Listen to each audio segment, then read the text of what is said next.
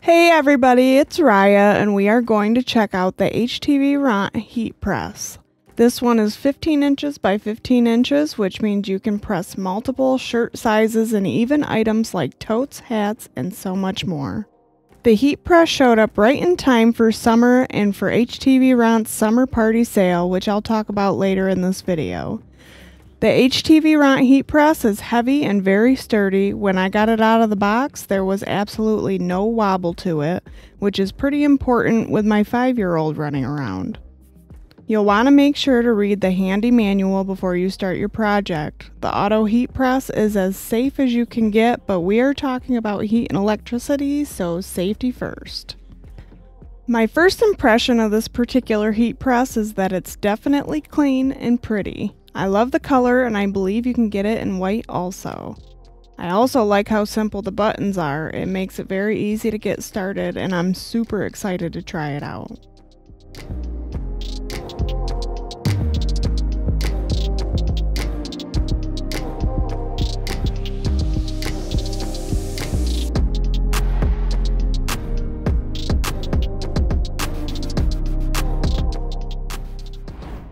This heat press is great for anyone who uses a Cricut, but if you're just starting out and you don't have one, you can get the printable sublimation paper or the printable heat transfers.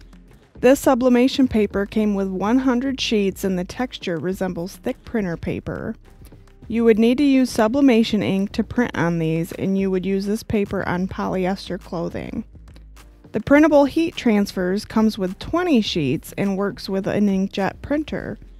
The texture of this one resembles vinyl and can be used on mostly cotton items. It also comes with some parchment paper to use over your design to protect the colors. When you're doing this kind of project, you will definitely want to use heat tape to secure your designs to prevent shifting. This tape sticks without leaving residues before and after heat application. Even though this is my first time using a heat press, I do believe that heat tape is necessary. So because the sublimation paper is used on mostly polyester material and I use cotton 100% of the time, I'm going to use the printable heat transfers for my first two projects. I wanted to really represent summer in my own way with these designs, so my first pick was these super cute and happy popsicles. They really remind me of summer and of my daughter. My second pick was a sea turtle in Sundala for obvious reasons. I also want to mention that I don't have a cutting machine, so I went with an X-Acto knife and my cutting mat.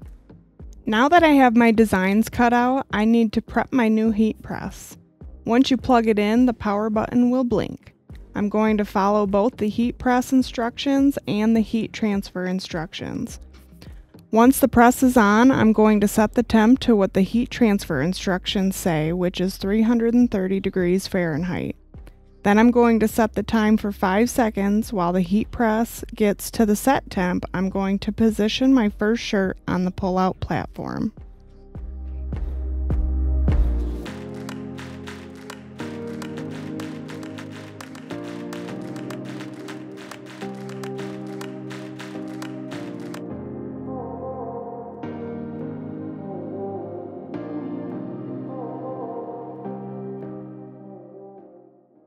My first shirt is a 100% cotton Comfort Colors t shirt. Now, the reason I'm only doing 5 seconds at first is to iron out any moisture and wrinkles in the shirt so that my design won't be warped. Then you simply press the start button. The press automatically lowers and raises with pressure sensing. And as you can see, the heat is evenly distributed on the 15 by 15 platform. The wrinkles are gone and now I have a completely flat and smooth surface for my design. Now it's time to apply the designs, so I peel off the backing and it's definitely not stiff so be careful not to pull too hard or fast. I'm going to position my cute popsicles exactly the way I want them to look when the shirt is done. There is a t-shirt tool to help measure the shirt and guide you on the positioning. I don't have one at this time, but when tie dyeing, my rule of thumb is a few inches from the collar.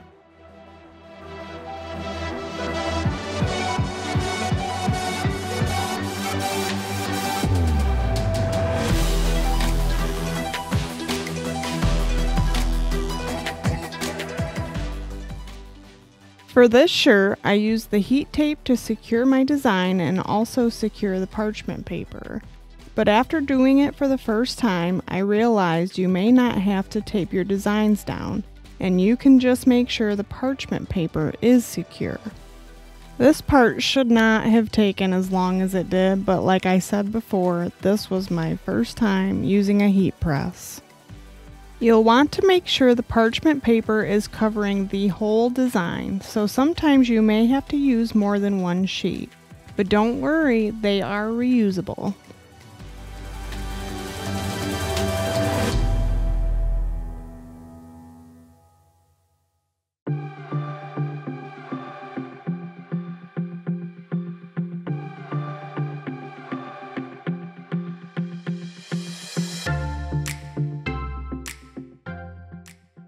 Now that it's time to set the design, I'm going to press the design at 330 degrees Fahrenheit for 15 seconds. I accidentally only pressed it for 5 seconds this time, but I did press it for another 10 seconds off camera. While this is pressing, I want to mention how quiet this machine is. I also noticed that there was no burning smell, so that's a very good sign. Now we can reveal our new shirt, and as I mentioned before, the heat tape came off super easy and didn't leave any residues. This used to be boring t-shirt has been brought to life in just a small amount of time. Let me know in the comments what you think about my new Popsicle Besties t-shirt. Now for the second design, I'm going to do the exact same thing on the second shirt, which is my 100% cotton switcheroo spiral t-shirt. Like I said earlier, the only thing I did differently this time is I only secured the parchment paper and not the design, which seemed to work well. I was a little more careful with the peeling of this because it was a little bit more intricate. Something I didn't think about at the time is whether the heat press would affect the tie-dye or not. I'm very happy to say that it didn't affect it at all. The colors are exactly how they were before pressing and there's absolutely no damage to the shirt. For some of you that come to my channel, you know that I make a tie-dye sea turtle shirt, which has always reminded me of summer and the beach. The mandala in this design may represent a flower for some, but when I saw it, I thought of the sun. This shirt is going to scream summer when I combine this design with this tie-dye t-shirt. I did press it correctly this time at 330 degrees Fahrenheit for 15 seconds.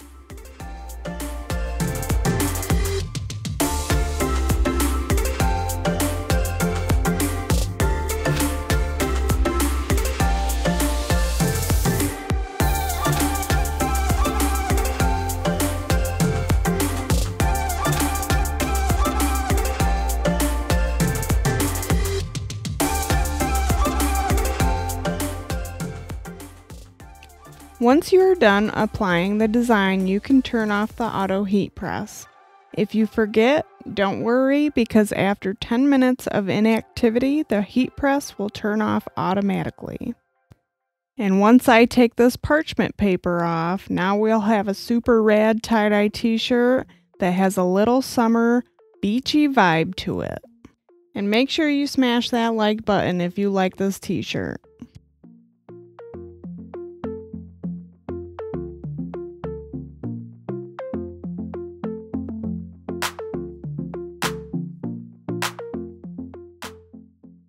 I am beyond happy with the results of these t-shirts. The HTVRONT products are high quality and are perfect for small businesses and crafters. I haven't noticed any peeling or cracking on the vinyl and the t-shirt is still soft and comfortable. I'm definitely giving this heat press a big thumbs up. HTVRONT is celebrating summer, so if you use my links in my description box, you can get $25 off the auto heat press 10% off sublimation paper, and 25% off heat transfer paper. That isn't it. HTVRONT also sells paint, resin products, and tie dye kits, and you can receive up to 20% off these products as well. Have a fun, creative summer and happy crafting.